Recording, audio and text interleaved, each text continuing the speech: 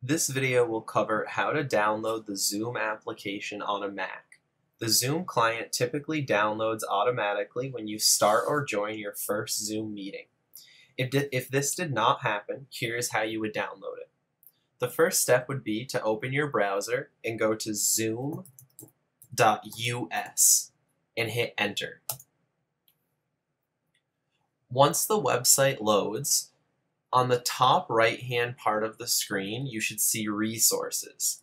Hover over resources and then click on download Zoom client.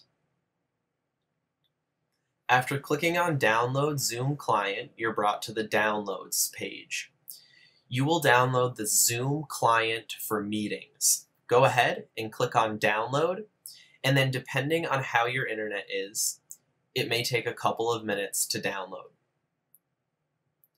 Once the Zoom client is downloaded, open your Finder and double click on the zoom.pkg.